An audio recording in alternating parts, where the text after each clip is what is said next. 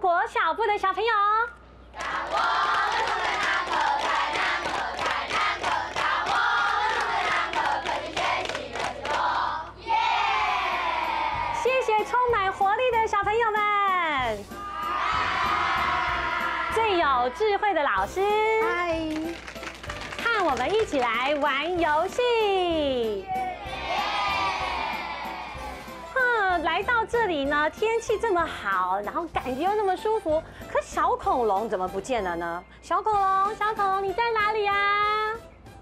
嘿，小伟老师，小伟老师，我现在正在台南市的南科十中国小部哦。先来欢迎两位小小的校园导览员，欢迎玉瑞还有纯明。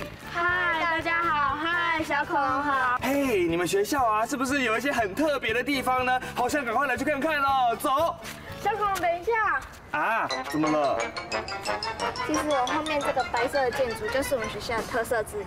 白色的建筑。嗯，是很漂亮，没有错啦。啊，可是看不太出来哪里特别。这可是跟一般的建筑大大的不同哦，这是绿建筑。啊，绿建筑 是什么东西呀、绿建筑就是节能减碳的意思。可是，嗯，这个建筑也能节能减碳吗？它是怎么做到的啊、跟我们进去瞧瞧你就知道哦。好啊，Go，走。你看，我们学校的图书馆就是用这种很大的落地窗，就可以增加光线，减少开灯啦。嗯，对啊，这边都没有开灯，可是看起来却一点都不暗呢。我的教室也是哦。哦，连教室都是，怎么这么好啊？嘿，不过你们学校还有没有什么其他的方式是可以用来减少用电的啊、跟我们走吧，带你去看一个更酷的东西。更酷的，赶快带我去，走。哇哇哇！哎，你们说这里很酷很厉害，哪有啊？啊，不就只是一个顶楼而已嘛，骗人哦！小孔，你不要急啊，后面就是我们很酷的地方，它叫做太阳能板。太阳能板是在做什么的啊？太阳能板是吸收太阳能转换为电，让我们使用哦。啊，是哦，啊，真的是很酷哎。那这样子是有几片呢？总共有一百片，可以提供八千瓦的电力哦。你们怎么真的这么厉害啊？连电都可以自给自足哎！哎，那你再跟我讲一下那个是什么？我刚刚一直很好奇耶。哇，你们学校也太酷了吧，超科技的耶！是这样，我跟你说，我们学校每个地方也可以无线上网。啊，每个地方都可以无线上网，也太赞了吧！哎哎哎，那这样子啊，你们不就无时无刻、随时随地想要上网就可以上网吗？哦，那不就还好？我今天有带手机来，可以。小孔不行，我们虽然可以无线上网，但是老师有规定说，我们不能带手机来学校，啊也只有上课的时候才能上网。说到电脑课，你们都是上些什么啊？我超好奇的耶。我们都上怎么使用网络，还有用网络的注意事项。哎，不过呢，像我最喜欢上网的、啊，就是可以玩游戏放松心情，还可以看看 Facebook，看朋友都去哪里吃啊，去哪里玩啊。那你们呢？你们上网都做些什么啊？我都用视讯和在新竹的阿姨聊天，真的哦。哎，那你呢？我都要去上网买东西，你但是买东西的时候问爸爸妈妈。哦，这倒是真的。看来你们两个都很了解上网可以做些什么事情的耶。哎，那小魏老师，你也帮我问问看，现场的同学他们上网都是在做些什么的吧？好，那现场小朋友，请问你们嗯爱上网吗？喜欢上网的人打圈，没有很喜欢的人打叉，我看看。哦，一整片绿，只有四个人是打叉的。好，那我很想知道你们上网的时候觉得有什么厉害的地方？为什么一定要上网？好，齐伟说。呃，上网它可以那个可以买书，而且还能查资料。哦，是哈、来，雨辰，可以用电子邮件跟远方的朋友通讯。哦，好，那不晓得大家说到上网这件事呢，还有上网的过程里面心情怎么样呢？好，我要请啊建台，好，建台来我旁边。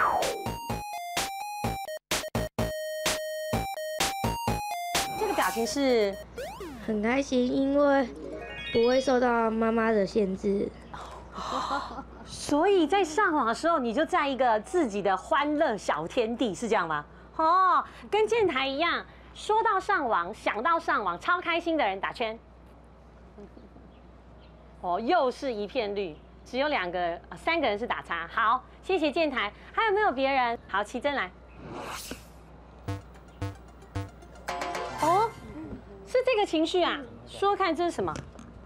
嗯，因为有时候电脑会宕机，然后你就不能看到想要看的，呃，影片啊，或是资料。对，哦，所以忍不住你就气起来啦。嗯，常常也会有这样生气的情绪的人打圈。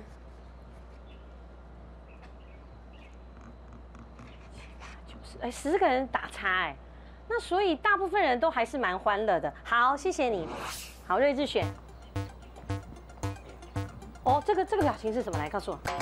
因为白玩的很开心，对可是玩到一半的时候就要结束了，玩到一半就要结束了，所以你这个表情是难过。嗯，好，跟睿智一样，呃，一想到又要关机了，又要收工了，就有这种难过的心情的人打圈。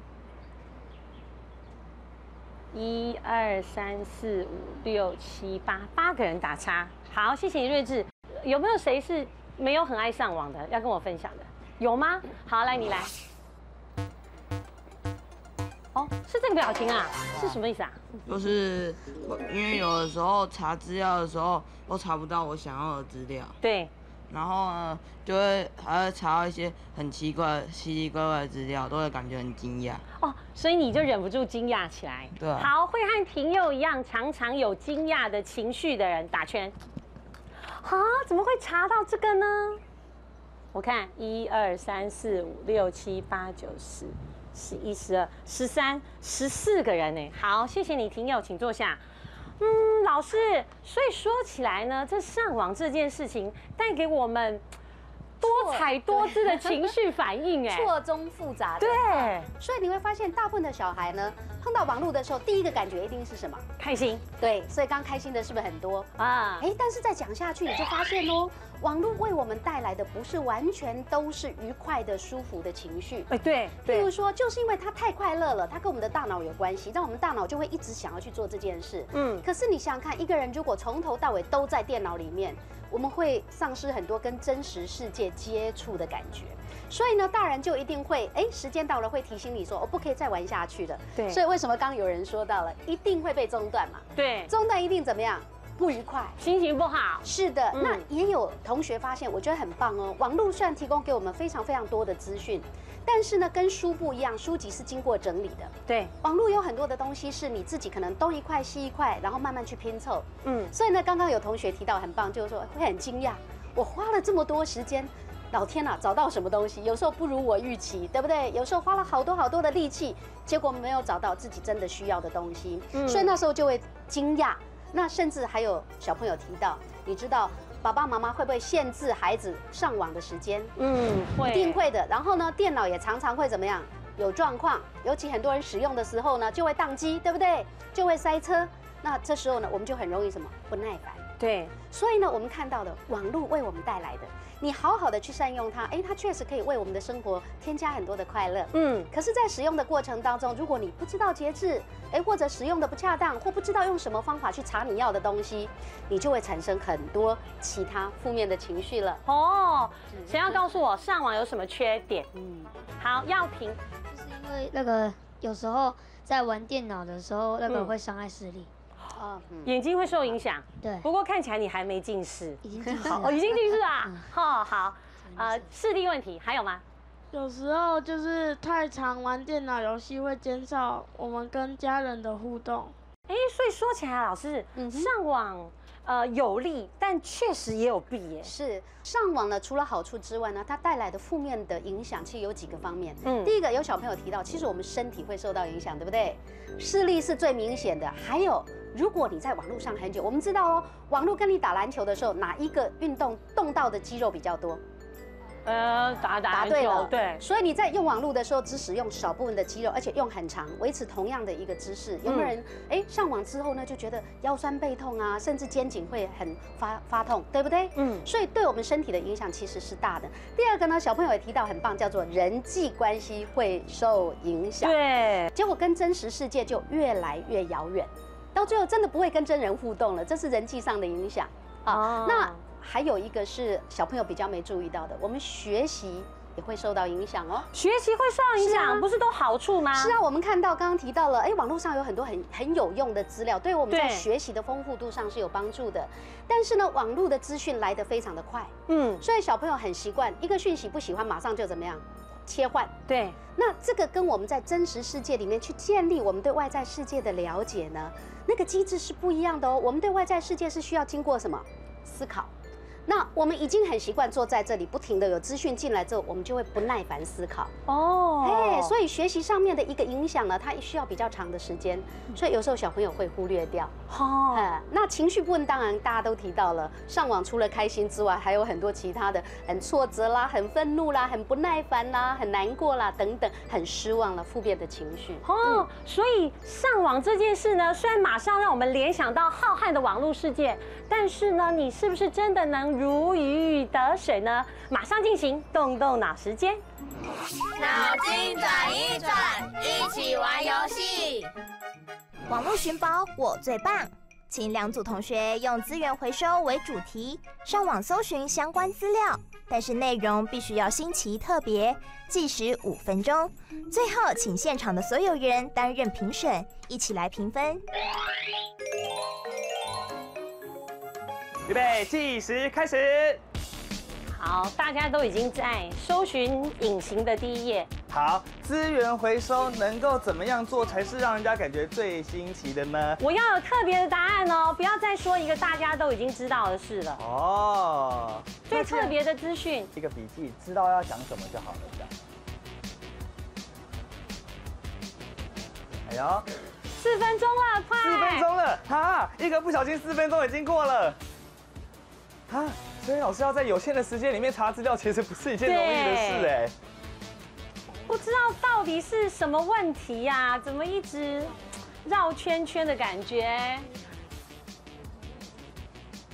十、九、八、七、六、五、四、三、二、一，时间到！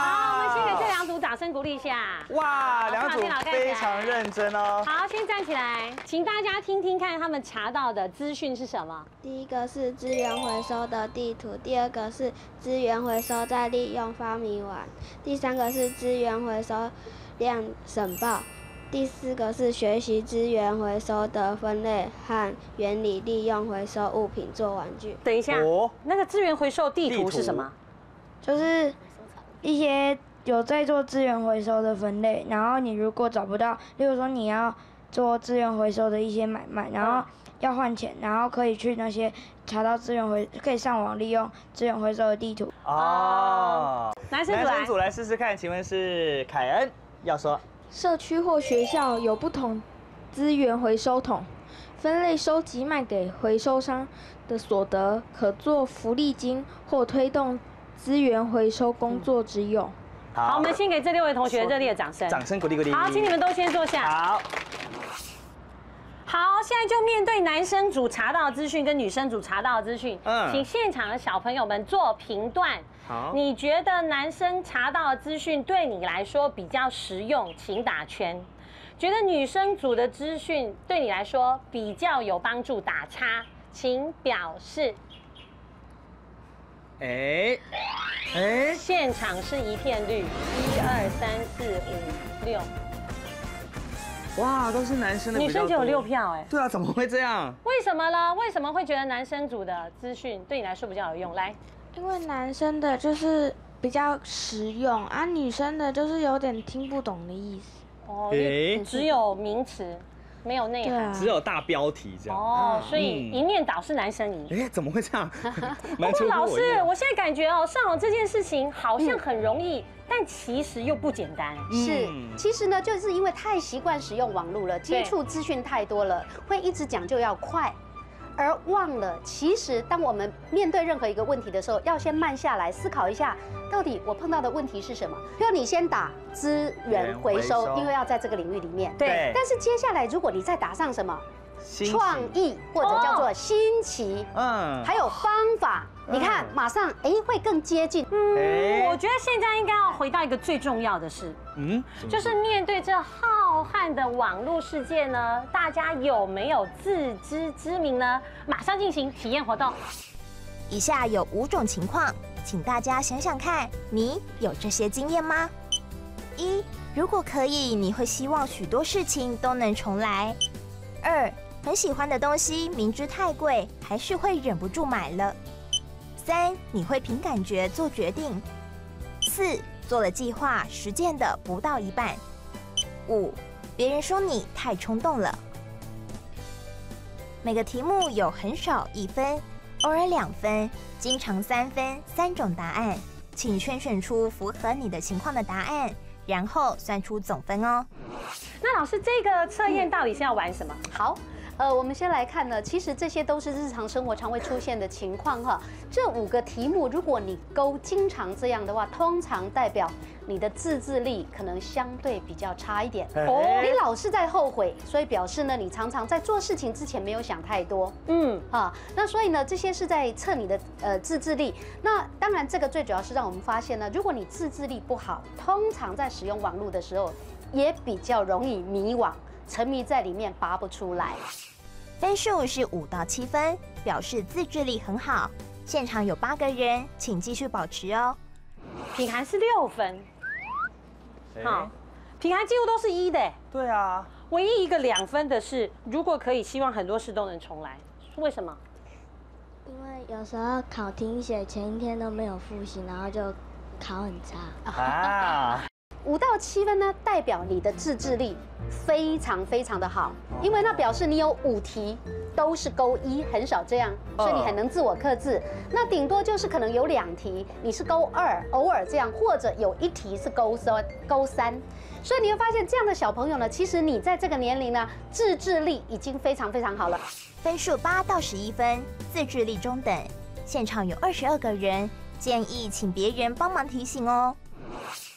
陈勋呢是九分，嗯，然后陈勋觉得呢会凭感觉做决定是三分呢，说看，嗯，什么事情会凭感觉？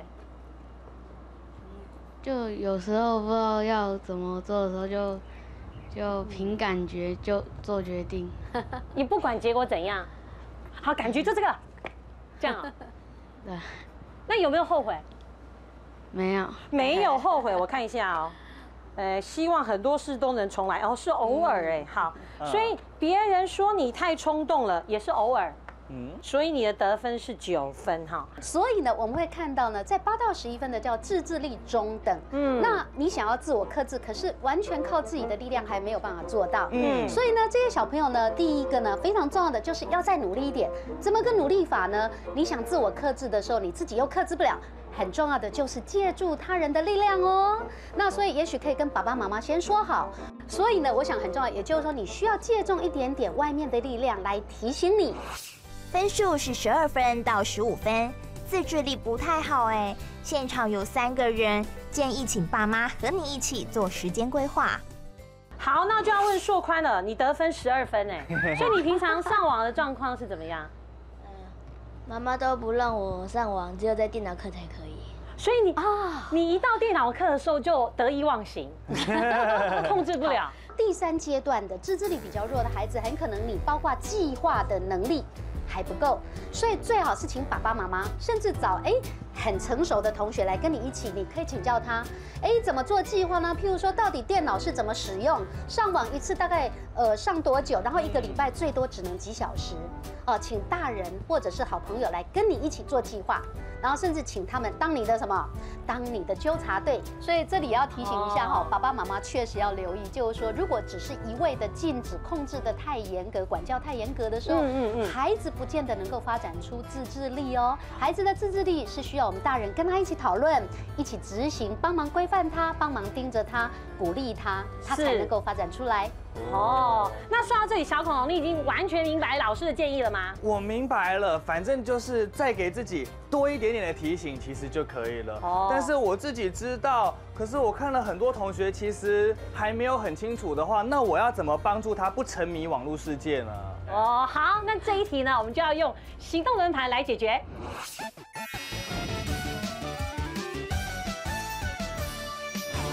谁已经想好了行动轮盘的哪一个解决方法最好用呢？请举手。嘿，那我要请应真，好，应真来。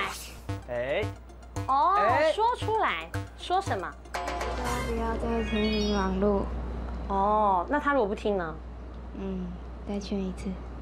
不断不断的劝他说不要沉迷，不要沉迷，no no no，这样啊？觉得会成功吗？有可能。好，谢谢应真，请坐下。那我再请依婷来。哎，哦，做约定，好说看。啊，我会跟他做个约定，嗯说，就是上网的时候不要一直一直玩，嗯，要克制一下自己的上网时间。哦，哎，这样好像也蛮不错的哦。好，谢谢你。那我来问男生易贤，求助，哎，找谁啊？嗯，就找身边其他比较没有那么沉迷电脑的同学来帮忙，这样子那个会比较有效率。那你自己是不是一个容易沉迷的人？是，所以你要找谁求助？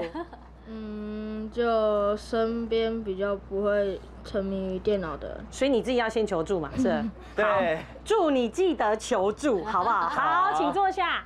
老师，除了这几个方法以外，请老师再给我们一点建议。呃，我们先说明一下哈，我觉得这个我们南科十中国小部的小朋友非常棒，因为他们三位所讲的方法刚好就是一二三三个步骤哦，进阶哦。嗯，第一个呢，小朋友一定先选择什么？先提醒他，嗯，告诉他，尤其刚沉迷的人，很轻微的人，你提醒他可能是有用的哦，是，对不对？但是如果沉迷的比较严重呢，光是劝说有没有用？没有，没有用。所以第二个叫做做约定，很棒。什么叫做约定呢？沉迷网络的人很容易慢慢忘记生活里面还有很多其他的乐趣。嗯，他的生命只剩下什么？那个网络里面的乐趣。所以做约定，就像刚刚说的，哎，你少玩半个钟头，然后我们去打球吧，哎，或者我们一起去逛逛街，或者我们去图书馆看看书，或者我们一起去看好的影片。嗯，所以你看到的这个就是第二第二步骤很好用的招数。第三个呢，我们小朋友终究是什么？同学嘛，对，有时候我们的劝说也没效啊，然后就算呢，呃，把他带出来玩呢，还是不够啊。那这时候最重要就是要求助真正懂得怎么样帮助这位同学的大人。或者像刚刚易贤说到的，也许你的同班同学当中就有人很厉害，有好方法可以帮助这个小朋友来戒掉上网成瘾的这件事情哦。哦，不过啊，说起来啊，面对啊这五花八门的网络世界啊，上网真的让我们眼花缭乱嘞。真的希望大家多练习有智慧的重要的关键搜寻方法，再练习呢控制自己的欲望。好好的调整，但我想啊，上网会既有趣又有收获，那就一举数得喽！祝福大家加油，谢谢。